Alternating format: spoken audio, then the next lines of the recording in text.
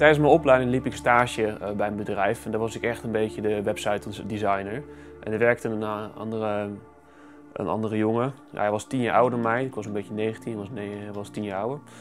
En uh, ja, hij uh, begon wat met, met te chatten en uh, begon een vriendschap te ontwikkelen. En op een gegeven moment ben ik zelfs nog een keertje bij hem wezen borrelen een aantal keren naar werk. En ja, leuke gesprekken. En hij heeft me ook een beetje geholpen met in de ICT verder opklimmen.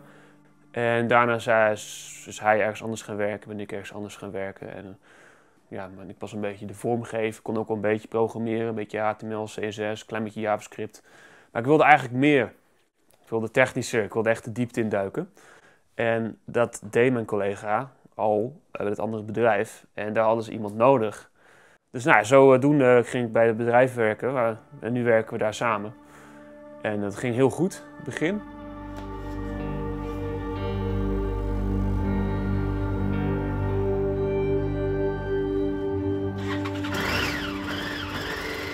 En, uh, maar op een gegeven moment gingen we veel praten over allerlei onderwerpen, relaties, maar ook veel over het geloof.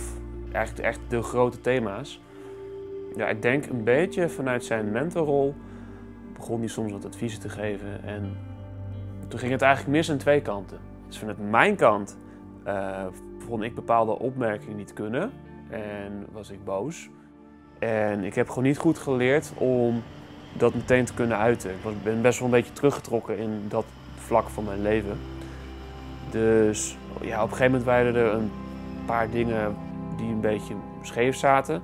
En vanuit zijn kant uh, heb ik een paar dingen gezegd die een beetje in de verkeerde keelgat schoten bij hem. En dat heeft hij ook ingehouden. Dus we zaten allebei een beetje elkaar ja, op te laden met uh, dingen die dwars zitten. En toen zei hij op een gegeven moment wat, en dat ging over mijn, uh, nou ja, mijn vrouw. Het was een beetje triggerend. En uh, toen werd ik een beetje, uh, ging, ging ik mezelf verdedigen. Zeg ik, hou eens even, dat is niet zo. En nou, gebruik je nooit en altijd. En nou, dan, dan gooi je even wat, flink wat woorden in, omdat je geïrriteerd bent.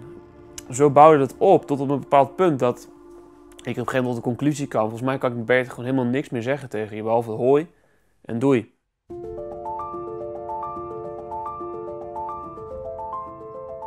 kom binnen, ging tegenover hem zitten, echt super dichtbij. Hoi, ging werken. We zetten alleen dingen als het moest. We gingen, ja, het, was, het was heel ongemakkelijk natuurlijk. En ja, ik ging echt met lood in mijn schoenen naar werk. Ik, ik, ik, ik, sliep slecht. Ik, ik, ik, uh, ik, zat er echt uh, ik zat er flink mee. Uh, mijn vrienden en mijn vrouw zeiden op een gegeven moment: kun je niet ergens anders over praten? Je hebt het er alleen maar over. Het was helemaal, ja, het overheerste helemaal. En ik was ik had zo'n waslijst opgebouwd met, met punten waarin ik gevoel had dat, dat dat echt niet kon, dat dat tegen mij gezegd was. En ik was echt, ik was er klaar mee. En ik, ook in, in, in die rol van, hij is tien jaar ouder, ik ben tien jaar jonger. Uh, weet je, ik voelde het ongelijkwaardig. Ik was echt, ik was heel boos. Dus op een gegeven moment moest ik uh, het geluid doen voor de kerk. Ja, ik had slecht geslapen, zoals gewoonlijk. Dat was normaal, want ik was er altijd echt last van. En iemand van de kerk die uh, komt naar me toe en ik uh, praat, hoe gaat het met je? Ja, niet goed. en vertelt, um, ja, toen kwam het er wel even uit van uh, mijn kant van het verhaal. En het was ook echt mijn kant van het verhaal. Als je als je, ja, benadeeld voelt, dan heb je ook echt het gevoel dat je onrecht aangedaan is, verbaal. En die man van de kerk te luisteren en die zei, hey, Chaco, je moet voor hem gaan bidden. Dit, dit, vraagt, dit vraagt God van me om aan jou te zeggen. Jij moet voor hem gaan bidden. En niet voor dat hij aardig tegen je moet doen. Of dat de ruzie moet opgelost zijn. Of dat hij eventjes, uh, weet ik, voor jou gelijk geeft. Dat, dat hoorde ik allemaal niet van hem. Nee, je moet bidden dat het goed met hem gaat. Dat hij een goede dag mag hebben. Dat het goed mag gaan met zijn vrouw. Dat, dat, hij, dat het gezegend is. En dat, ja, al die dingen, echt van die positieve, liefdevolle dingen bidden. En de mensen in mij dacht, ja, maar liefhebben, ik ben boos. Ik heb al die, die woede hier, weet je wel. En die, uh, dan moet ik ook nog eens ja, lief gaan doen. Uh, en hij zou ook niet, niet zeggen tegen hem, hè, maar gewoon naar God toe. Gewoon bidden. En toen dacht ik, ja, nee, dat ga ik dus niet doen. En toen dacht ik, Maar toen kwam de omslag. Ik ben toch christen? Ik geloof, ik ben praktiserend christen, ik geloof en God vraagt het van mij. En toen ook het klein, klein beetje het besef kwam van misschien moet ik het maar gaan proberen. Nog ineens van ik ga het doen of ik beloof het of ik stellig. Nee, gewoon toen ineens, ineens waste alle woede uit me, alle narigheid, alle, alle gevoel van onrecht en alle, ja, dat, ging, het verdween als sneeuw voor de zon. Dat was echt bijzonder.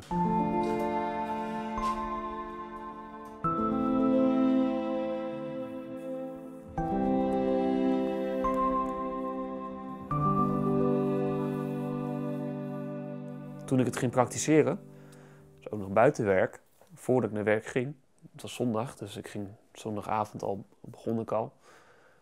Uh, toen ging het lood uit mijn schoenen, figuurlijk.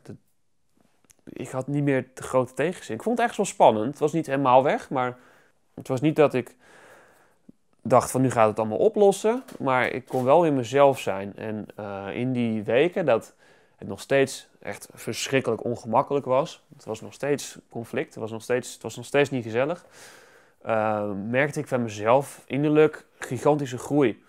Waarin ik ook uh, leerde hoe ik zelfstandig uh, kon zijn. Hoe ik leerde hoe, hoe, wie, wie ik was. Ik heb zoveel van mezelf geleerd, juist in die periode dat, dat eigenlijk God bij me kwam. En ja, toen in het bedrijf zijn er een paar stappen gezet en is het uh, uitgepraat. En dat ging heel vloeiend. Het uitpraten toen kwam ik er eens achter dat, dat ik niet de enige was die, die uh, ja, gevoel had van onrecht aangedaan te zijn. Hij had ook wel een paar opmerkingen van mij die hij ook niet heel leuk vond. En ja, achteraf zei ik, oh, sorry, dat, dat, dat had ik niet zo bedoeld. Of oké, ik snap dat jij daarover boos was. En toen alle, alle narigheid, alle vervelende berichten, alles werd in context geplaatst en alles was weer ja, was weer goed. Het ging, het ging zo snel voorbij. De, de, we konden wel heel gauw weer praten. En uh, ja, een paar weken later heb ik weer een paar grote complimenten van hem gekregen. En zei hij van, uh, ja, je doet het echt goed en ik ben echt blij met je. En dit vond ik nog wat bijzonders. Hij zei, um, hij zei dat hij mij fijner vindt na de ruzie dan voor. En dat heeft ermee te maken dat voor de ruzie uh, was ik meer met hem aan het meepraten. En na de ruzie kon ik ook af en toe wat meer tegen hem ingaan. Ja, maar zonder de Alpen heb je vaak wel echt heel anders. God heeft mij vooral geleerd, heb je vader lief. Ja, of het komt niet goed, het komt wel goed. Het wordt in ieder geval een stuk makkelijker om uh, door het leven weer te gaan verder. Het is echt, kan ik echt uh, aanbevelen, ja.